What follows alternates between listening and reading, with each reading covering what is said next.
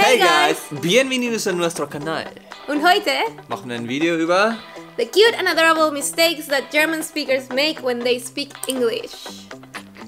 These are some mistakes that I noticed from Janik, from his family, and from my teachers and friends from Munich. The actual reason why she wants to make this video is because I recently made a video about the mistakes that she and Spanish speakers make. He roasted me and he found it funny, and I think it's time for me to tell you that you're not as perfect as you think you are. I know I'm making mistakes and I also wrote some down.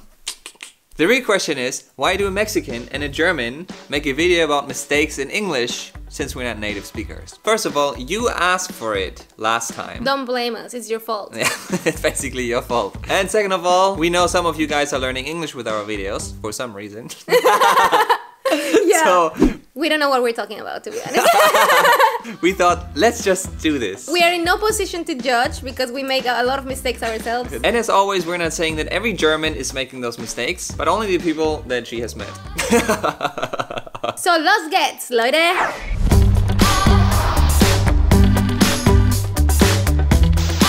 So I made a list of three mistakes that I've noticed that Janik keeps making constantly. and afterwards, I'm gonna tell you the mistakes that I used to make and that I've heard from other Germans. And you have to say if they're cute or they're annoying. Cute or dumb? cute or dumb. So the first mistake, I find it super cute, it's my favorite mistake of all. Okay. And it is hello all together. Hallo alle zusammen. So sadly, Janik doesn't make this mistake. At least I've never heard you saying it. But my teachers would come into the room and say, hello all together. All together. I thought it was maybe very formal, but my friends would put it on the WhatsApp groups. Hello all together. We're gonna party at 5. And I was like, what what is that? the hell? I remember you coming back from university in the beginning and saying like, they all say all together. Why am I not saying it too? I love it a lot. Yeah. But the correct form would be, hello everybody. Or what's up, y'all?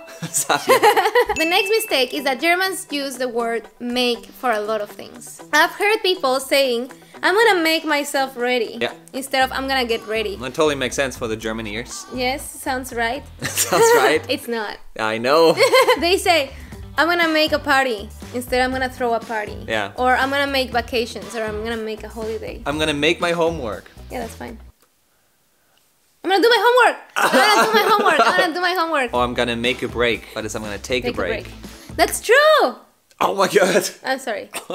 Yeah, because in German you use machen for everything. like Party machen, ich mach mich Ferien fertig. machen, eine Pause machen, Ja. AA machen. Ah, machen. I'm gonna make poop.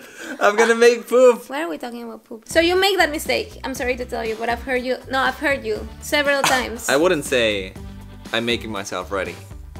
Oh maybe my I did. god, you make that mistake every day. Or make yourself ready. Yeah, totally. I say that all the time. yes. So that that was it. The next mistake is that Germans confuse each other with us. yeah. This is a mistake that Janik also makes every now and then. To be eh, honest. Okay, So, no, no, I, would- I definitely know what you mean. I hear you. I accept it, and I agree. Thank you. I appreciate that you're listening to me. I love you.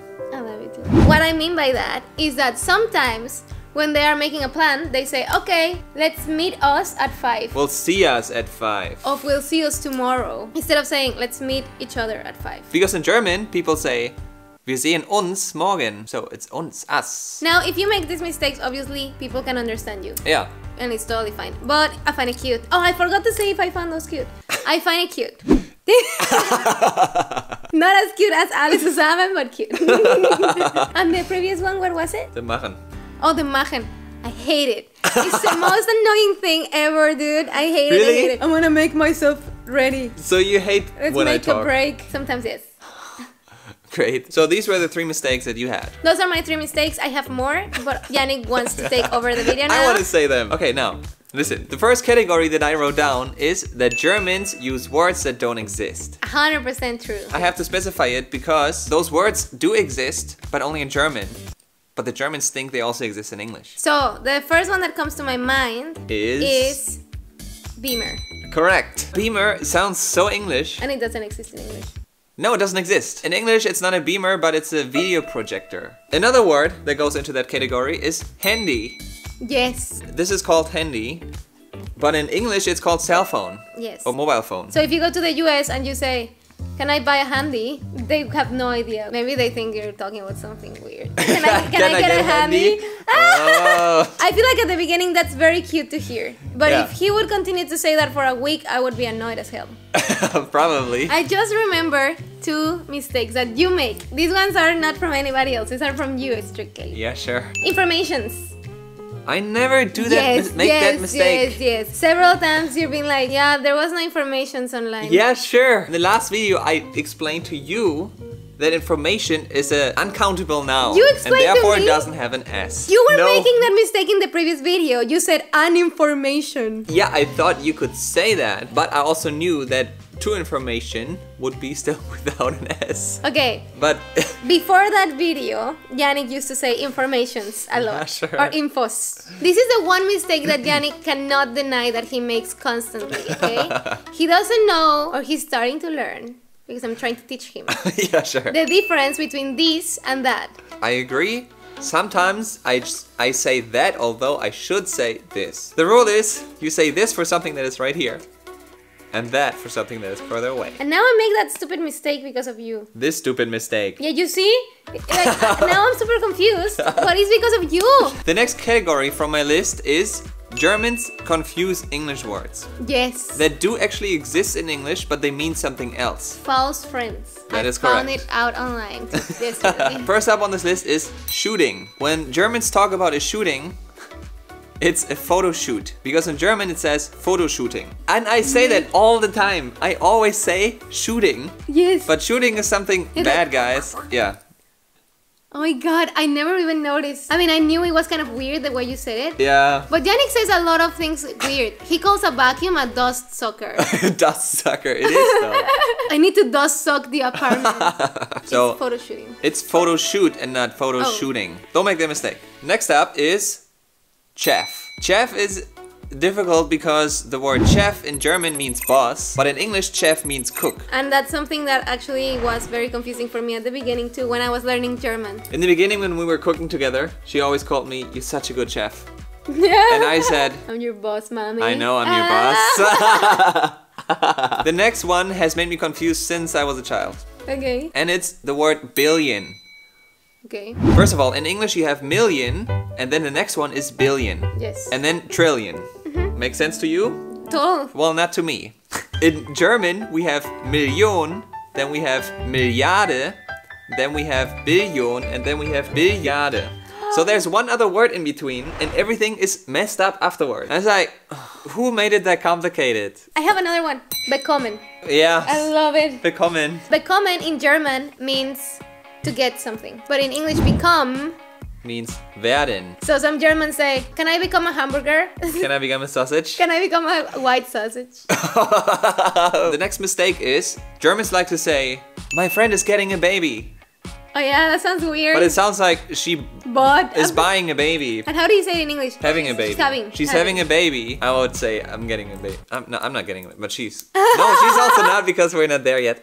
But. oh my god, don't don't give up our secrets. Ow. Oh. and now let's get to the last point, and that's not really a mistake. It's the accent. The accent that German people have when they speak English. I love it. You love it? Cute, cute, cute, cute, cute. my teachers have such a strong accent, and oh my god, sometimes I don't even pay attention to what they're saying. I'm just like, "Ah." we used to go to this restaurant in Bayern, and there used to be a lot of people that would celebrate their birthdays there, and it was so funny to hear. Happy birthday to you. it was so cute, dude. Yeah, I, I can also that. hear that in my family. The weather is really nice today. Really? They say really sometimes. This obviously doesn't go at all for all the Germans. Janik, sadly, doesn't have a German accent. Would you like me to make those? I love it. Yeah. From now on, guys, I will always speak like I love this. it. Oh my god. You can get used to this. I love. I, my heart is jumping. Why don't you have an accent? Like you do, but you have a weird mixture now that I don't understand. I don't if know. I try to speak without an accent, it's like the most annoying thing ever because I'm so bad at like hiding my accent. It's actually not that bad. Really?